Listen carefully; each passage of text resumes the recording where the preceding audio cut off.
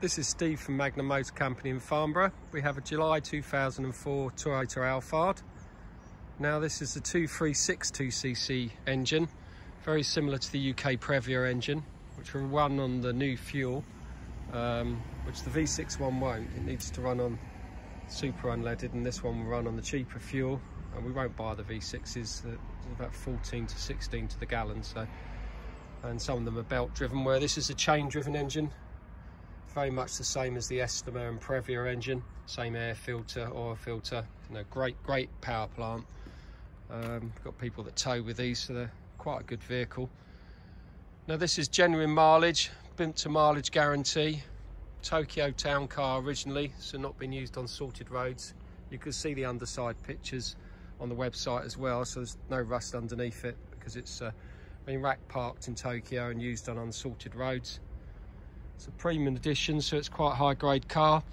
It's white, but it's not Van Man white, it's metallic white, so it's got like a lacquer on it.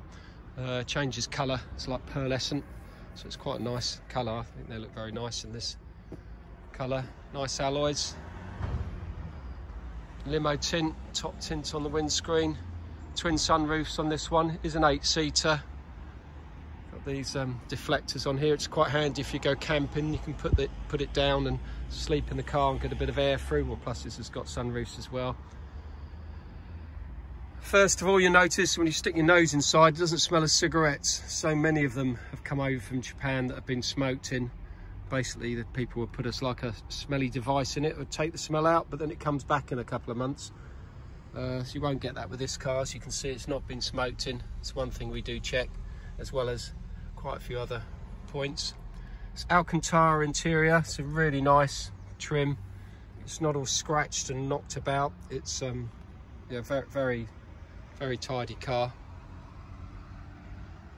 I think it's about 12 cup holders in it. Power doors. Twin. No sagging headlinings. You have to be careful on these. In the corners, they start to, the glue starts to go if the cars have been left outside all the time where the headlining just drops and it, you can't really fix it so. So it's got the tabletops on the back of the seats the spinning seats. Um, they lay totally flat so you can you can either have them this way around and then you can have a nice little armrest in the middle more cup holders. If you pull that lever there I don't know how good I'll be doing this one-handed but there we go there we go. You can see it starts to twist uh, so you can spin it around, have them facing backwards. It's got seat belts going backwards here, then full seat belts up here. We can put six multi-point seat belts throughout the whole car, something else we do. Um, so if I quickly jump in the back, see what I can do. So on these seats here, you've got these bases that just lift out and then they hook into the floors here. It's a case of just lifting this off, he says, one-handed. Here we go. So that's down now, so that's laying flat, so that's ready if you want to turn it into a bed. And then the other one lays flat coming down now. So basically these middle seats will then lock into these seats. It is actually quite comfortable. This seat belt pops out the way and uh, you know I've slept in one. They really are quite comfortable to sleep in. So if you're on an occasional night trip you get stuck you can use this.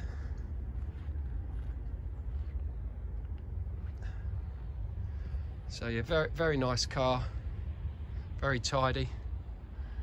We uh, can fit tow bars DAB units uh, to the head units Kenwood systems. We have the full Toyota software to hand as well, so we can plug in, check these, check the hybrids. We keep parts in stock. We will service your car. We will look after you and your car.